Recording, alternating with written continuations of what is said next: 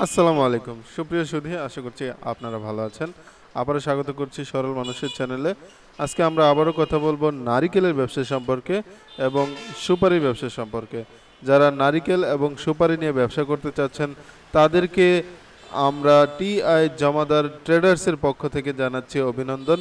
আপনারা চাইলে টিআই জমাদার ট্রেডার্সের কাছ থেকে নারিকেল নিয়ে ব্যবসা করতে পারবেন।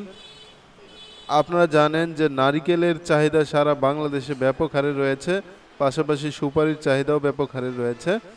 তো যারা নারিকেল এবং সুপারি নিয়ে ব্যবসা করেন, তাদের তাদের তো আর নতুন করে বলার কিছু নেই যে এই ব্যবসাটা কতটা প্রফিটেবল এবং এই প্রোডাক্টটা কতটা ডিমান্ডিং প্রোডাক্ট যারা এই ব্যবসা সম্পর্কে অবগত আছেন, তাদেরকে নতুন করে কোনো কিছু বলতে চাচ্ছি না, তবে যারা এই ব্যবসা সম্পর্কে তেমন ধারণা রাখেন না, তাদেরকে বলে রাখি, আমি নিশ্চিত করে বলতে পারি আপনি এই ব্যবসা শুরু করলে লাভের মুখ দেখবেন।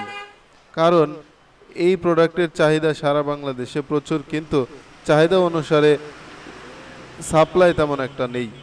আপনি যদি সেই সাপ্লাইয়ের ঘাটতিটা পূরণ করতে পারেন, তাহলে কিন্তু আপনি এই ব্যবসায় ভালো প্রফিট করতে পারবেন।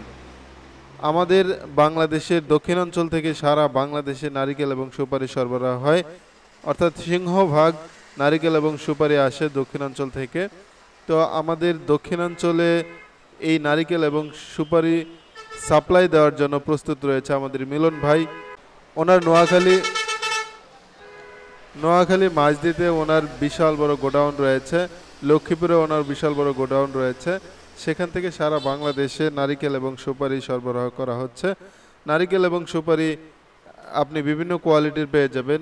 মাঝারি সাইজের, বড় সাইজের, ছোট সাইজের বিভিন্ন ধরনের নারিকেল রয়েছে। মিলন ভাইয়ের কাছে আপনারা স্ক্রিনে প্রদত্ত নাম্বারে যোগাযোগ করবেন, তাহলে তার কাছ থেকে আপনারা এই নারিকেলগুলো নিয়ে ব্যবসা করতে পারবেন। এছাড়া যারা সুপারি নিয়ে ব্যবসা করতে চাচ্ছেন, তারাও চাইলে মিলন ভাইয়ের সাথে যোগাযোগ করতে পারেন। আপনারা কাঁচা সুপারি, পাকা সুপারি, ভেজা সুপারি, শুকনা সুপারি, সব ধরনের সুপারি আপনি মিলন ভাইয়ের কাছ থেকে নিয়ে ব্যবসা করতে পারবেন। তো ব্যবসাটা কীভাবে করবেন এটা দুভাবে করা যায়। একটা হচ্ছে পাইকারি দরে নারিকেল বিক্রি করা, সুপারি বিক্রি করা, মুদি দোকানগুলোতে সাপ্লাই দেওয়া, অথবা যদি আপনার নিজস্ব মুদি দোকান থাকে, সেক্ষেত্রে নিজের দোকানে রেখে বিক্রি করা। এছাড়া সুপারি ব্যবসাটাও আপনি চাইলে পাইকারি বাজারে সাপ্লাই দিতে পারেন।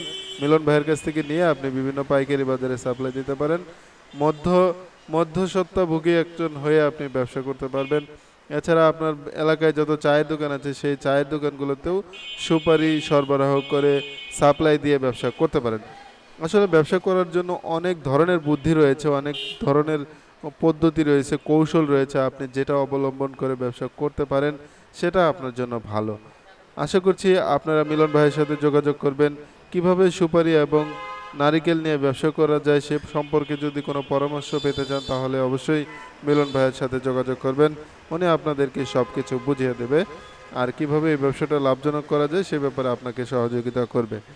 আশা করছি আপনারা অবশ্যই যোগাযোগ করবেন। সে আশাবাদ ব্যক্ত করে আজকের মতো বিদায় নিচ্ছি। ভালো থাকবেন। খোদা হাফিজ।